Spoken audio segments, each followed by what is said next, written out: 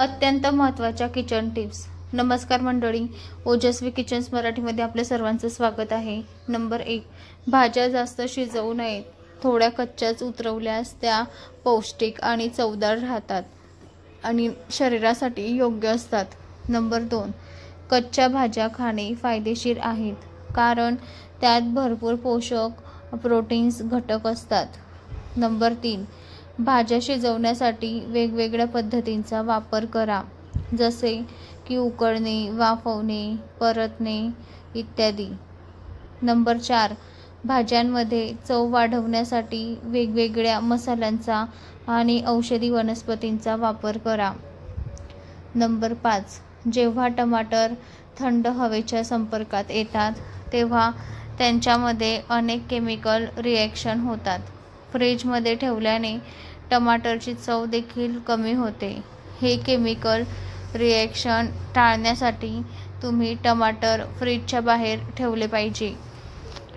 Number सहा लसूण फ्रीजमध्ये ठेवल्याने त्यामधील औषधी घटक थंड तापमानामुळे खराब होऊ शकतात.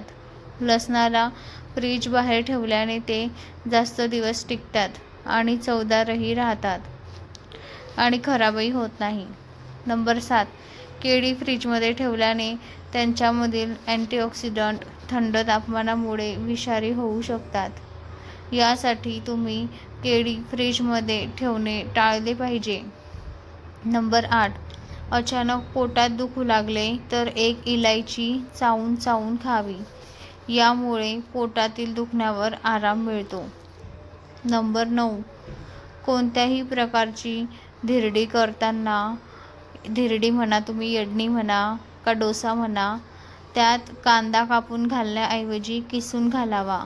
त्यामुळे त्या धिरडीला छान व कुरकुरीत होतात आणि छान टेस्टी पण होतात. नंबर दहा जर तुम्हाला लॅक्टोजची ॲलर्जी असेल आणि दूध पनीर जास्त खाऊ शकत नसाल तर टोफूचे सेवन करू शकतात. हे सोयाबीनपासून तयार केले जाते.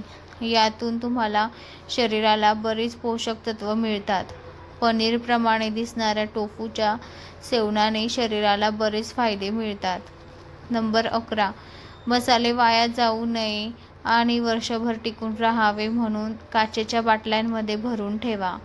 यामुळे मसाले जास्त दिवस टिकतात आणि खराबही होत नाही. तर मंडळी व्हिडिओ आवडला असेल तर चॅनलला नक्की लाईक आणि सबस्क्राईब करा. शेअर करायला विसरू नका. धन्यवाद.